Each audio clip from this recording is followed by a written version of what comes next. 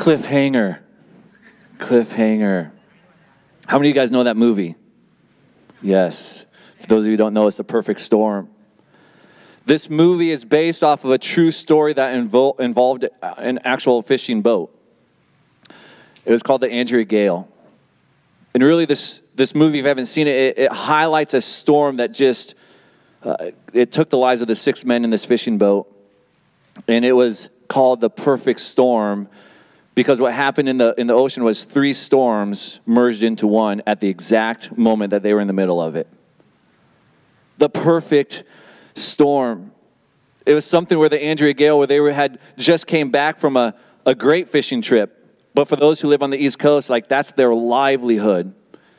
And so the, the sad part about it is, I believe, uh, as, I, as I researched this, Captain Billy Tyne, this was going to be his last fishing trip, and they were going to move to Hawaii after this. He's very successful. They set out for a, month long trip, 900 miles, sunny ocean view for the most part. And then the storm came.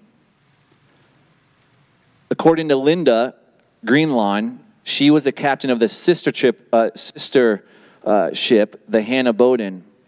The nor'easter, which is called a storm, it formed over the Andrea Gail, creating conditions that were nearly unavoidable, and ultimately it's fatal to the ship and the crew.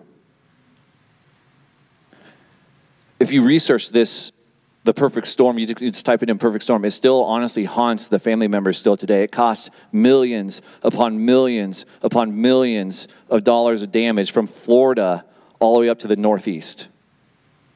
Took 13 lives altogether. The truth for us today is whether you're a follower of Christ or not, the perfect storm for us today is a controlled storm. The perfect storm for us in today's time is a controlled storm. If you some of you might not saw the clip at first, but it went from hope. They saw the sunlight. They thought they made it through. And then, as Hollywood does, they just make it dramatic and close it in, right? The real details were they didn't have any hope. There was no, when the storm came together, three and one, there was no hope. There was no sunlight. But Hollywood has to show us a little bit of hope, right? Get a little bit of hope, and we all want that hope. But in this video, you see there's hope and then there's despair. They knew they weren't going to make it out. The perfect storm for all of us is a controlled storm. If you have your Bibles, go ahead and open them to Matthew 14.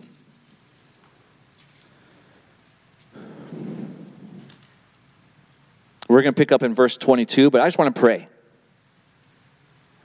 Father God, I just want to thank you again, Lord God. We're, we, we thank you, we thank you, we thank you, we worship you, we praise you, we adore you. Holy Spirit, I pray that you anoint me as your servant of your word. I pray that it goes forth, Lord God, and I pray that we can apply your truths to our lives. Lord God, we thank you that you're still moving, you're still active. We thank you that your word still applies today. And all God's people said, Amen. So we're going to pick up in Matthew 14, verse 22. And for those of you who are familiar with Scripture, you've probably read this over and over and over. Jesus walks on water. Amen. We know the story. For those of you who don't, it's found in the first uh, gospel, Matthew. It's found in Mark, and it's found in John. Four of the three gospels have written about this uh, account that's taken place. And I like Matthew's version. It's a little longer, so bear with me. But I love it. We read in verse 22 Immediately after this, Jesus insisted that his disciples get back into the boat and cross to the other side of the lake, while Jesus sent the people home. After sending them home, he went up into the hills by himself to pray. Night fell while they night fell while he was there alone. Meanwhile, the disciples were in trouble far from the land, for a strong wind had risen, and they were fighting heavy waves. About three o'clock in the morning, Jesus came toward them walking on the water. When the disciples saw him walking on the water, they were terrified. In their fear, they cried out, It's a ghost. But Jesus spoke to them at once. Don't be afraid, he said. Take courage, I am here. Then Peter called to him, Lord, if it's really you, Jesus, if it's really you, tell me to come to you walking on the water.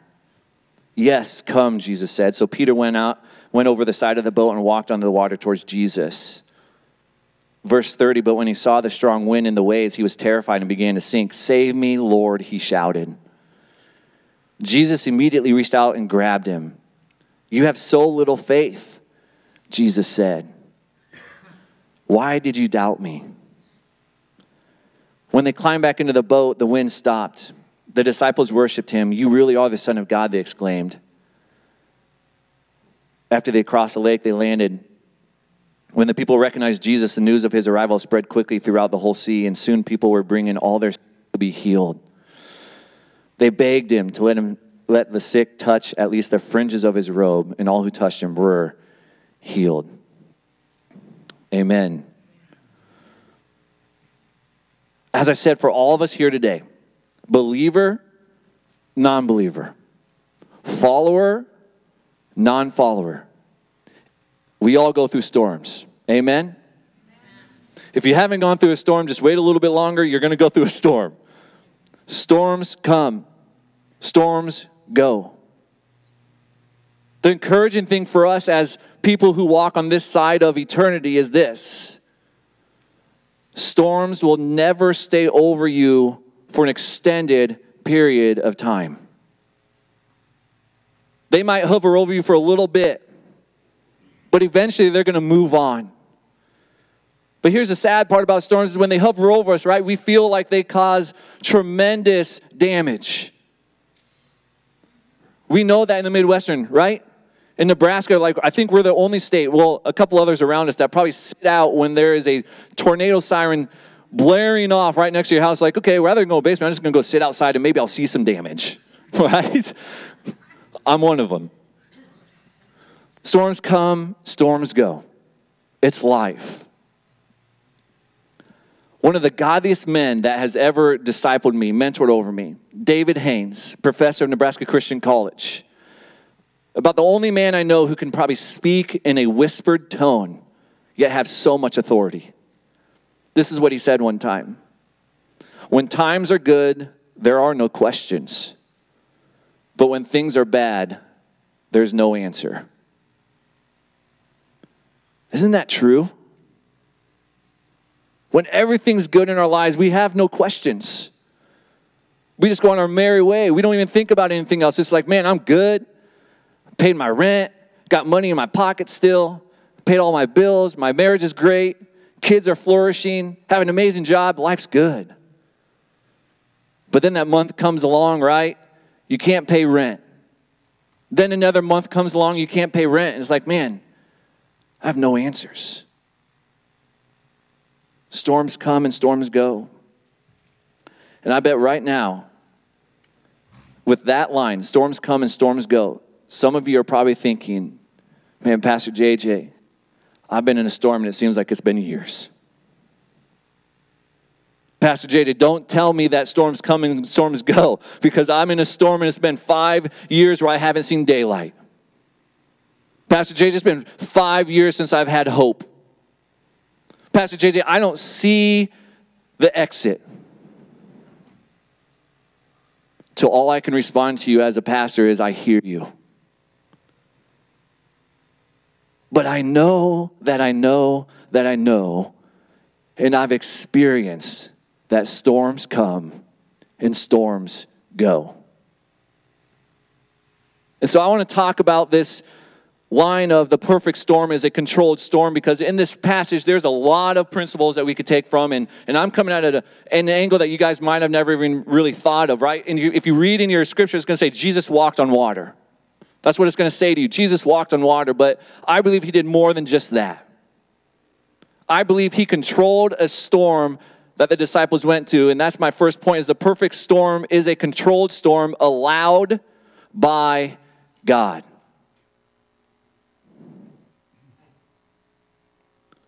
The perfect storm is a controlled storm that's allowed by God. We have to understand what's going on in Matthew 14. in Matthew 13 in Matthew 12 in Matthew 11, 10, 9, 8, 7, 6, 5, 4, 3, 2, 1, what took place all the way up to this chapter and these verses to understand that God allows storms. The disciples are following Jesus. He had just fed 5,000 people with limited loaves and a couple fish. Man, Jesus is doing amazing things. Jesus is raising people from the dead. I don't know about you guys, but if I would have saw that, I would have been like, whoa, Jesus, whoa. Jesus is giving sight to the blind. Like, well, man, Jesus, you're, you're really challenging me now. Hey, how about you? You can't really hear. I'm just going to restore that, that hearing for you. Now you can hear. Man, Jesus is radically changing their viewpoints on what they believed.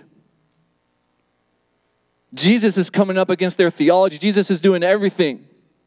And then Jesus, to top it off, he comes to them right before this and feeds 5,000 with five loaves and two fish.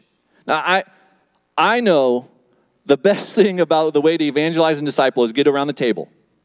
Food opens everyone's ears, right? Jesus says, hey, let's have some conversations. I'm going to feed all 5,000 of these with just the limited means I have. It's huge. The day was perfect. If you read through the scriptures, it was probably sunny.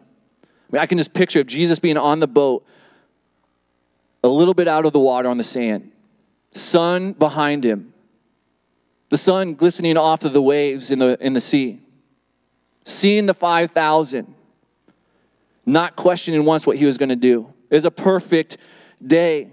But here's what happens Jesus feeds them, and what, what does he do? Huge miracle, looks at his disciples and says, Go. Just does an amazing miracle, and he goes to his disciples and says, This. Immediately after this, Jesus insisted, if you look up the word insisted, it means he made them, he controlled them, he forced them to get in the boat. And he said, Leave. You just witnessed this, now go. Go by yourself into the sea, cross the lake. See, this already took place in chapter 8 of Matthew. It's the second time that Jesus put him on a boat and put him in the sea. The first time they didn't have very much faith. He was sleeping in the boat the first time. This time he's saying, No, you're on your own. Tells him to go. Why does Jesus perform this and tell them to go? If you go through John's account of this, uh, this story when he saw, he saw and he explains what happens when Jesus fed the 5,000. Immediately, all 5,000 of those people went from thinking maybe this guy is God himself to, we want you to be king. We want you to overthrow the government. This controlled storm that Jesus sent his disciples in were, was solely on them in their belief in who Jesus was. See, Jesus didn't come to overthrow the government. Jesus came to overthrow the power of sin and death. And he knew that if his disciples stayed there with the 5,000, that they would be swayed to believing that he was the prophet that they were thinking that was going to come, that he was a prophet that was going to overthrow the government. And Jesus said, No, no, no. I love you so much. Get in the boat right now and go. And then Jesus immediately disperses the 5,000. He goes up and prays.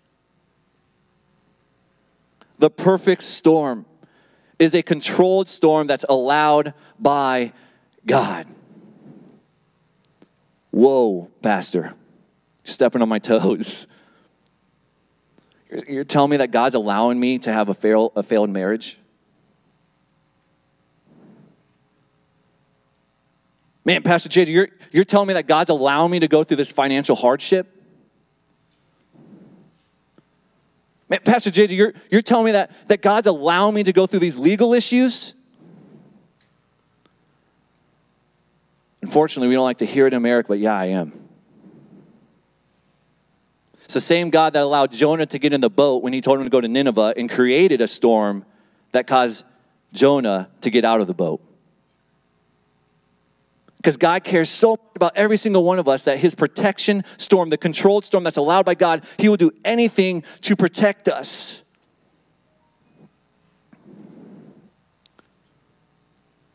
The allowed storms in our lives is not to weaken us, is to strengthen us. Man, get this with me. God didn't take Daniel out of the lion's den. God said, Go into the lion's den. I'm going to show up and show you what my protection is. God didn't take Shadrach, Meshach, and Abednego out of the fiery furnace. He didn't stop them from being put in the fiery furnace. God allowed them to go into the furnace, and then God allowed the government at that time to turn that furnace up seven times the normal heat. He still didn't invade yet. The government goes to sleep thinking they're going to come, come back and they're going to be dead, right? Torch. No, what happens? The government asked the people who saw this, and they said, Man, all I know is I saw four people in there. God didn't spare Daniel in the lion's den. He protected him. He let him go into the storm. God didn't take Shadrach, Meshach, and Abednego away from the fire furnace. He put them in the fire furnace and said, I'm going to show you who I am. What am I saying? I'm saying that the storms that God allows, the storms that God allows in our lives is not for us to question who God is, it's so that we can declare, There's my God. That is what God does the controlled storms in our life, He is in control. Maybe your marriage is failing, but He's about to say, Hey, I'm about to, re, uh, to renew your marriage. Just like that video, I'm going to start to in, intercede into your marriage. You're going to love one another more than you've ever loved one another. Man, that financial hardship that's in your life right now, it's about to break, but you have to focus on me. See, the thing about Shadrach, Meshach, and Abednego, they said that We'll go in this because our God will save us. But even if He doesn't, even if God doesn't show up, whew, that's good. Man, the storms we go through life, the perfect storm is a controlled storm that's allowed by God. And I got to say that when that happens, when, when God allows us to have a storm in a life, I want to let you guys know that you will experience spiritual warfare. In the storms of life, when the storms come, you are going to experience spiritual warfare. Spiritual warfare, I gotta be honest, is the one thing that we in the Western civilization do not understand. Trent's wife, missionary in Africa.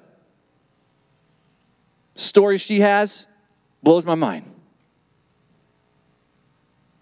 blows my mind. Going to Romania, hearing the stories of the spiritual warfare blows my mind. But read these verses with me here. In verse 24, we read, Meanwhile, the disciples were in trouble far away from the land, for a strong wind had risen, and they were fighting heavy waves. Check this out. About three o'clock in the morning, Jesus came toward them walking on the water. When the disciples saw him walking on the water, they were terrified. Fear Satan. Satan produces fear. Fear is not from God, it is from the enemy. And they say it's a ghost. Now, I don't know about you guys, but I believe we have some of the best water spots in Nebraska. I, I lived in North Carolina. The ocean is great, but man, it doesn't compare to the Fremont Lakes. Just saying. Just saying. The waves, the sand, it's amazing. That's a joke. It's a joke. We in America, we love the ocean, right? If you talk to a lot of people, a lot of people say, I just want to, their bucket list, if they haven't been, is, I want to see the ocean. I want to see the ocean. I went and saw the ocean, scariest moment of my life. Went into the water, literally thought jellyfish were biting me. Ran out of the water only to see it was seaweed in front of all these guys. How embarrassing. I don't like the ocean. But we got to understand where the disciples are coming from. See, in their culture, when they said that they saw Jesus, the Israelites still today believe evil spirits live in the ocean. They believe they live in the lakes. They believe they live in the waters. So when the disciples at 3 a.m., which the normal spiritual warfare happens from 12 to 3, they were justified to say, This is a ghost. If you were to go to Israel today, you would see that they don't they still today do not build buildings near water. They will not go into water. Maybe to be baptized, but they just don't go swimming in the water. They don't like to get into the water. So they were justified to see and say, man, that's a ghost. Spiritual warfare. Just imagine this with me.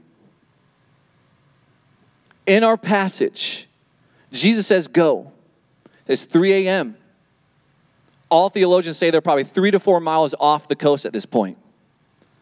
High winds, waves crashing them. They're wet. They're tired. They're cold. They're physically exhausted. They're probably hungry still. Prime time for the enemy to come and prowl on. Is that not when the enemy comes into our lives? Is that not prime time for the enemy to come into our lives when we're tired, when we're weak, when we're worn out, when we say we can't do this anymore? That is when Satan comes. If you study scripture and says Satan is what? A what? What is he? A roaring lion seeking to. Thank you. Yes. If you study lions, what do they do? Okay, they do roar. Good one. Lions lions when they hunt, they specifically go after the weakest link. They don't go after the alpha. They don't go after the moms and dads. They don't go after the strong ones. They strategically see the one who's tired, worn out, and can't defend themselves. It's the same exact thing that Satan does in our lives. That's why we have to understand the enemy's tactics. So here's J.D. Greear. J.D. Greear says it this way Many Christians are totally unaware of Satan's active role in their lives. They don't pray much and they don't stay close to God. They compromise with sin and it gives Satan a foothold. To which Peter says, Be alert. Check this out. The odds of being attacked by a shark are 1 in 3.7 million, and yet people still don't get in the water for fear of a shark attack. The odds of a grizzly bear attack are, are 1 in 2.1 million, and yet people still don't go into the woods your chances of being attacked by a supernatural lion, one out of one. And yet you still don't live aware of this. Satan is either roaring or he's in stealth mode, but he's always active in your life.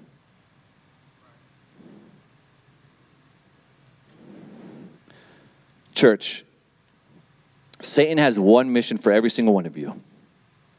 Every person who lives in, or uh, is sitting in this room, he has one mission, and that's to bring death to your life. That is what he's wanting to do to you. Satan does this in many ways, but there's nothing greater than fear. There is no greater tactic from the enemy than fear itself. We read the two words in this passage they were terrified and they had fear.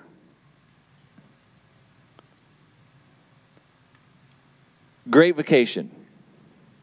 Best part about vacation was coming home because I like to scare people. We were worshiping the Lord, and I just went, woo!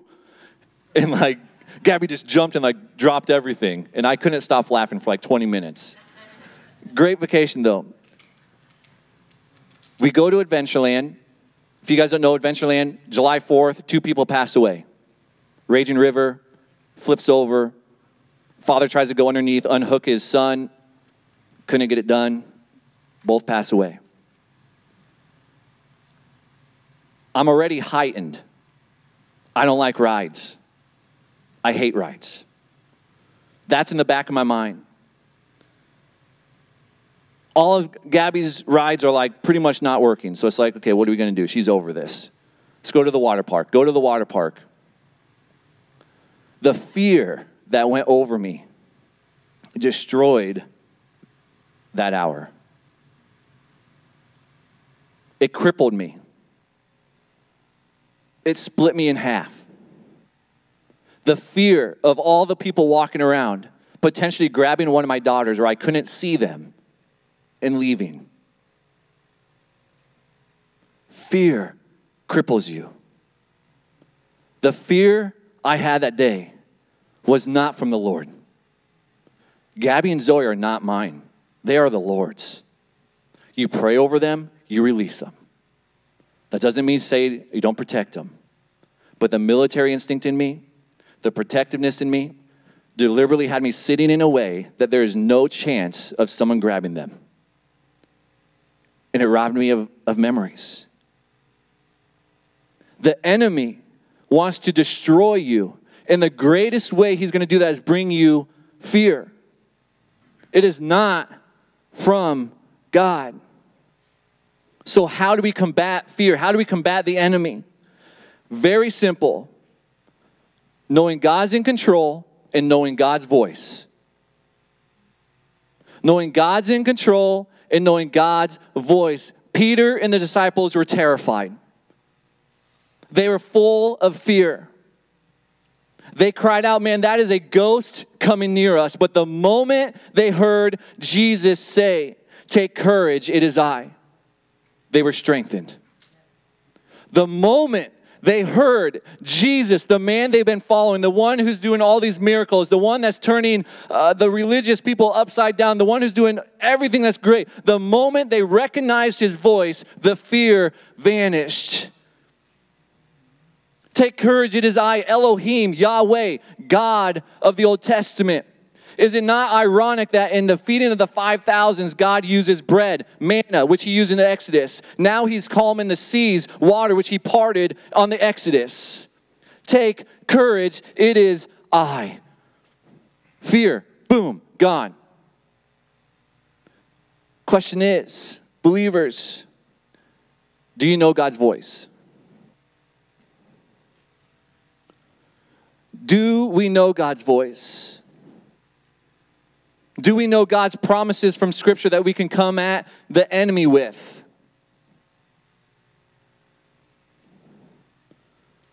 Do we know that we have the authority in Jesus Christ to rebuke the enemy? That's why I tell us every Sunday, and I'm going to plug it in right now get into God's Word. Because I'm going to step on some toes right now you're not in God's word, you cannot discern the Lord's voice. You're not in God's word, you cannot know his promises. You're not in God's word, you don't know how to take authority. That's not judgmental. That's not condemnation. I want to uplift you. I want to build you up. I want to encourage you. Get into God's word because God wants life. The enemy wants death. God wants to raise you up. The enemy wants to take you down. The God wants to give you promises, the enemy wants to break the promises. The only way we can discern those is being in God's word. If you're not in God's word, I want to encourage you. Start with five minutes a day. Five minutes. Say, Lord, here I am. Nowadays, you can even get on your cell phone. Pretty easy to get into it, huh? The only way we can come against spiritual attacks from the enemy is by knowing God's voice and knowing God. Amen? The other thing, the last thing I have is that the perfect storm is a controlled storm that trains us to keep our focus on Jesus. The storms come and they go. You are going to face a storm. There are some of you who are probably in a storm. They're not meant to distract you, they're meant to train you to focus on Jesus. First day of basic training. I, mean, I was terrified. Talk about fear. What am I going to experience? At holdover, Ooh, man, those drill sergeants were mean. They were mean. Get on the bus, they're screaming at you, your head's in, your, in, in between your legs. You have no idea where you're going. And I'm thinking, man, we're going to get off this bus and we're going to have to do push ups right away, and I'm not strong. But the greatest thing about my basic training is when the, the military was actually starting to test how do, how do soldiers respond to yelling versus loving encouragement. And I was just so blessed to get a loving and encouraging drill sergeant. So when I showed up, they said, hey, just come off the bus and just set your stuff there. Okay, I'll do that. Sit it there. Later, the day goes by, we go through all this stuff, get into our athletic clothing. 52 of us in a straight line hours. No yelling, standing at attention for hours, looking straight ahead. You can't move. I quickly learned they're breaking me. Time's passing, sweat's starting to beat. It was in North Carolina. It's probably 110 degrees. Heat index was 130 on average every day the flies start landing on my face. I'm thinking, I think I can turn real fast and wipe it away. So I'm standing there at attention. I start going, not thinking the drill sergeant can see me. They're at the end of the line. Distracted mosquitoes start coming, start biting me. Now I'm mad. Real fast. Big no no. I was quickly inducted into push ups. So were the other 51 soldiers. My focus was on the distraction not the ones that were around.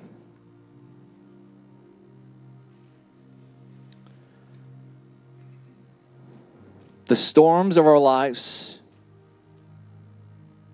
they're going to come.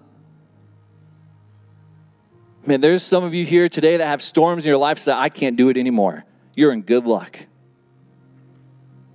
Because Peter is in the same spot. They see Jesus, it's a ghost. Take courage, it is I.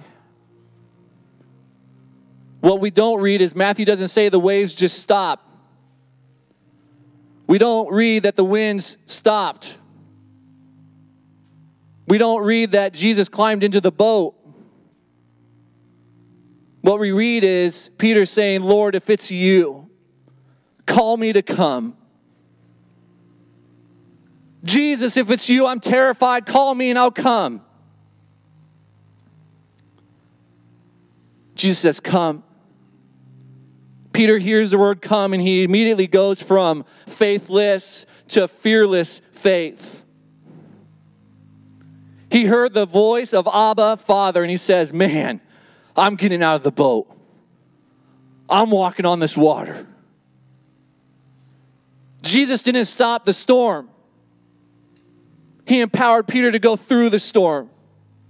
And the moment Peter took his eyes off Jesus, he sunk.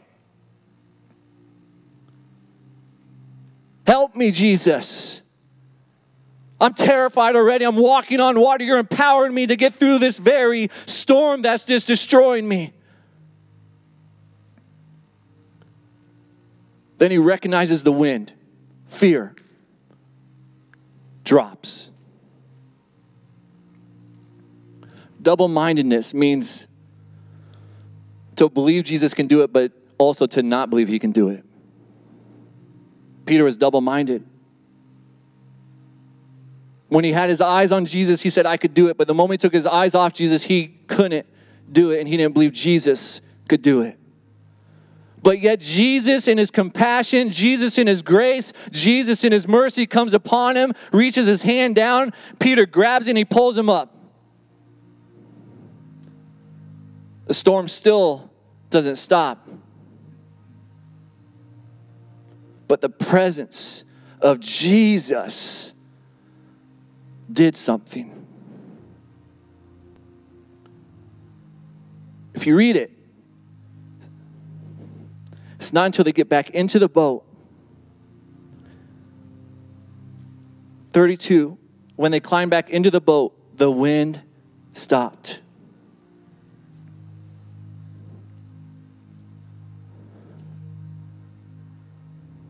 The perfect storm is a controlled storm.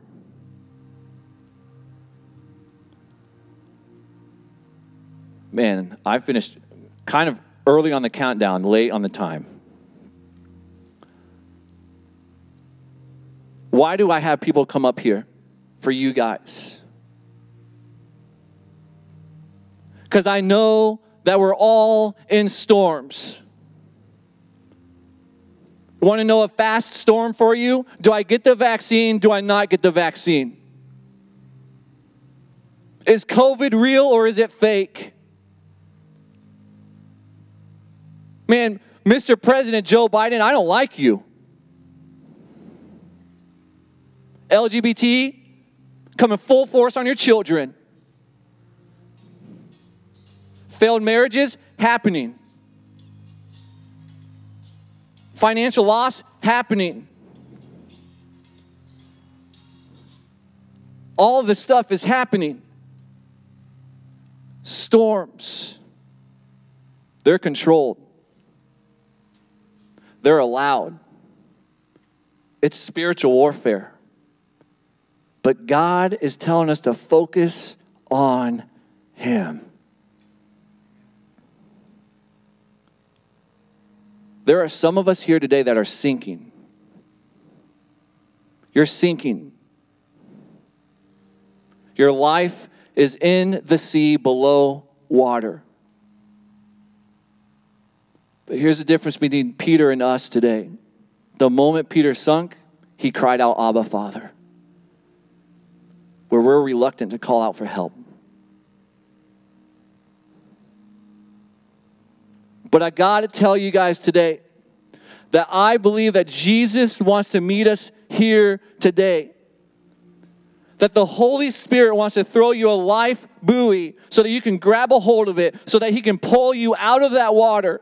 And as you get closer to Him, He wants to reach His hand down to you and say, Grab a hold of it, my child. I'm going to pull you out but you can't do it yourself.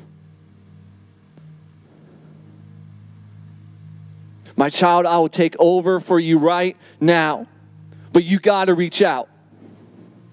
My child, I'll get you out of that water, but you got to cry for help. And the moment we do, the Holy Spirit comes and grabs a hold of you and pulls you out and wraps you in his arms, dries you off, and gives you life. There may be rain, there may be thunder, and there may be lightning still, but eventually that storm is going to pass.